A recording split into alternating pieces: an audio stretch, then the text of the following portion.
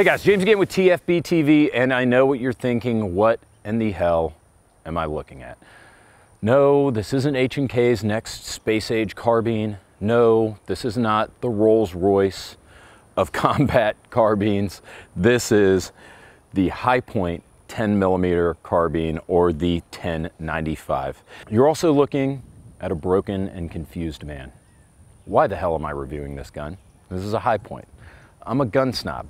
I don't review stuff like this. I'll tell you why. A few years ago, one of our sponsors bought me a Hi-Point 380 and I was gonna come out here, have a good time with it. I was gonna crap all over it. I was going to tell you guys how terrible it was and it was gonna be a laugh and I wasn't gonna care because it's Hi-Point, right? Well, I did that. I brought it out here, made fun of it, had some laughs, and then I ran the hell out of it. And this was a gun, by the way, that we later found out was 10 or 12 years old. And I ran the hell out of it with 380. I even threw it in the creek back here behind the property, pulled it out, and it ran flawlessly. So at the end of that video, I concluded, do I hate this gun? Well, yeah, kinda. You know, would I own it? Probably not. But good God, for $150, this gun was more reliable than guns that cost three, four, five times as much. It was absolutely incredible, and I have been impressed with Hi-Point ever since. You can't forget about the fact that they've got this insane lifetime warranty on these guns. It seems like whatever you do to them, they'll fix it for you, which is also pretty incredible. So that's why I'm here reviewing the High 1095, the budget 10 millimeter carbine, and frankly, it's my privilege to review this. I'm glad the guys at Hi-Point got in touch with me and offered to send one my way. Don't let me down, guys, because you know this thing's going into the creek by the end of the video. But guys, we're not talking about a Ferrari or a Rolls Royce here. We're talking about maybe what the equivalent of an ex Soviet Bloc tank from like the 70s or 80s. Something that's just next to invincible and will just keep running, running, running. But it might not be the most elegant firearm you've ever seen. That said, what would you take? Would you rather have something that looks good or would you rather have something that's gonna run no matter what? And the guys at Hi-Point, they already have your answer for you. Now, is there a way that they could maybe spruce this thing up? I don't know, maybe, maybe not.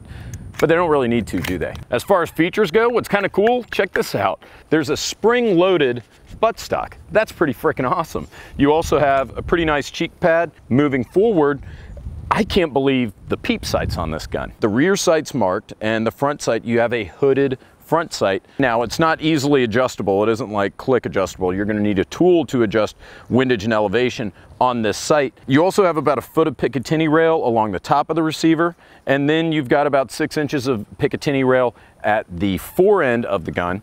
And then you even have about another three or four inches of Picatinny rail right under the barrel. You have a threaded barrel with a thread protector, which is also a pretty nice feature in a gun that's this inexpensive. The High 1095 has a barrel length of 17 and a half inches, an overall length of 32 inches, a weight of seven pounds, fully adjustable sights, a 10 shot magazine capacity and 10 millimeter. All Hi-Point carbines are plus P rated. The barrel threading I mentioned is half by 28. It's got a grip mounted magazine release, it's 100% made in the USA, and it does have a last round bolt hold open. You're looking at an MSRP of 389 bucks for this gun. This is gonna be a pretty popular gun in my opinion. There are a lot of best millimeter fans that are out there looking for the 10 and would love to have a carbine that's shooting heat out of a 17 and a half inch barrel. You can do a lot with that. And check this out guys, the Bushnell T25 series, if you use it without a mount, it actually co-witnesses with the sights on the Hi-Point. And that's great because the T25 is probably my favorite red dot sight that's under 300 bucks. Bushnell is a sponsor. They sent this to me, but I've used this. I've absolutely run this thing into the ground and I'm gonna do more of that today and it's been perfect. So that's it for the intro and the specs. Let's go shoot this ugly son of a bitch, huh? All right, gang, you guys can see in this general area, I've got a, an A2 target set up, a silhouette target at 50 yards. First shots with the High 1095 carbine. Let's see what kind of damage we can do from this distance.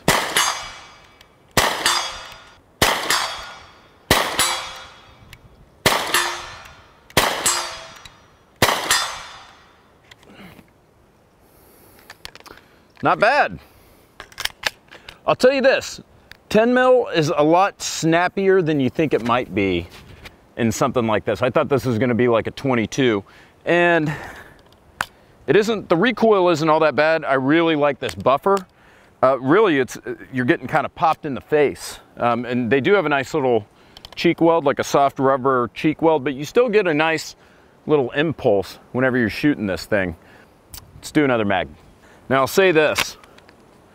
I don't know if I'm doing something wrong, but when I pull the charging handle back and try to slide it forward, it's not charging. I give it a little bump and it charges. I don't know if that's the ammo I have, and unfortunately I only have one type of 10 mil ammo. You see what I'm talking about, look. I'm ripping it back as far as I can. Oh, it worked that time. Okay, maybe you just really need to get it all the way back because you, you don't have a lot of runway to get this charging handle all the way back.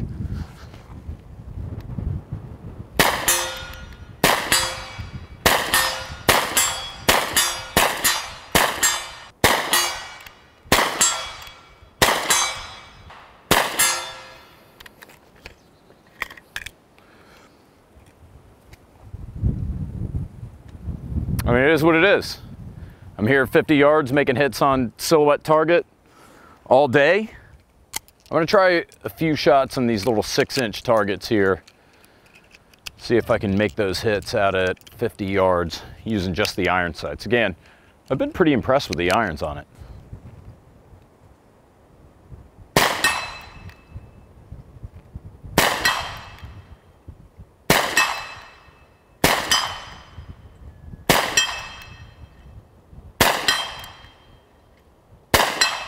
Come on, man.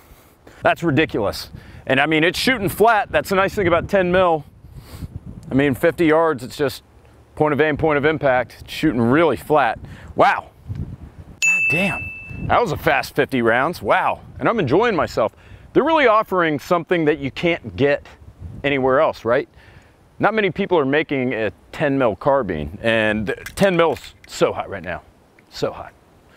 Everybody's doing 10 mil all over again and that's great. There we go. See that?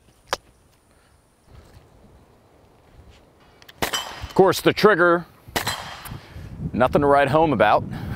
Trigger reset, non-existent. You just kind of let it out until it stops, and then you pull it again. Um, but, you know, it could be a lot worse, but again, you know, you guys are talking about a very inexpensive gun here.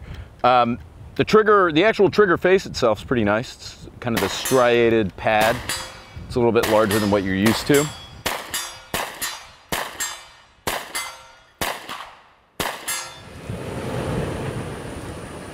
Mm, you're one dirty high 10 millimeter carbine. I think it's time to give you a bath. Let's drive on down to the river. Uh, come on!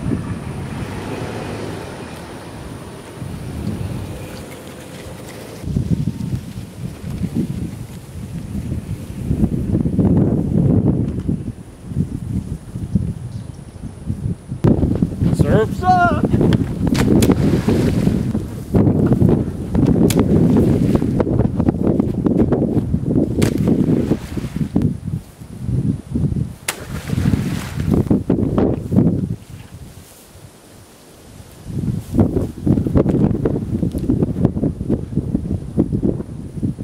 I just threw this thing in this revolting creek with a loaded magazine like five or six times. So let's see what happens. Oops, safety on. Look, it chambered that time.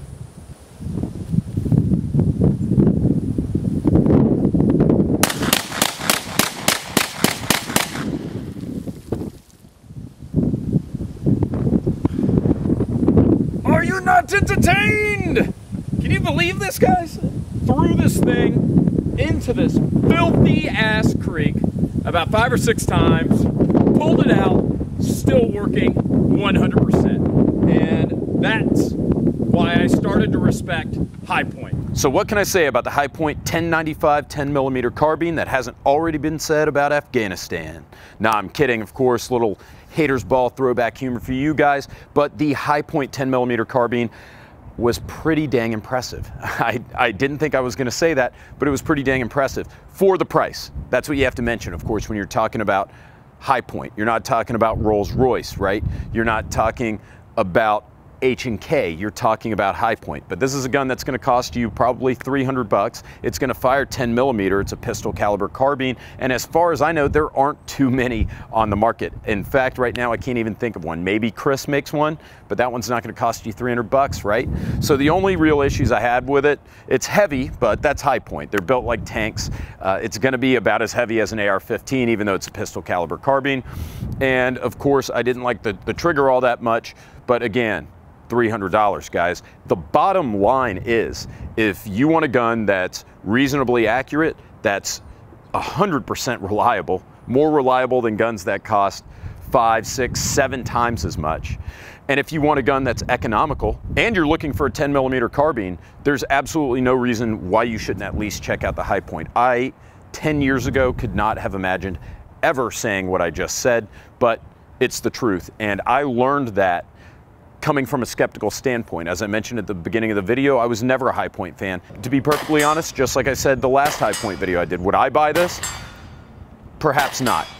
But that doesn't stop it from being a really impressive product for the value. It truly outperforms guns that cost five, six, seven times as much. So I want to say thank you to the guys at Hi-Point for sending me an early copy of one of these to review. Like I said at the beginning of the video, the people at Hi-Point are incredible. They have such a good sense of humor about their haters. So salute to you guys at Hi-Point. I want to say thank you to you for watching as usual. Thank you to all our subscribers. Guys, do us a favor and hit that subscribe button if you don't mind. And of course, thank you to Ventura Munitions. I don't have any 10 mil. Ventura Munitions, they sent me some 10 millimeter to use for this test. They're also an awesome company and a great group of people. So thanks again, guys. See you next week.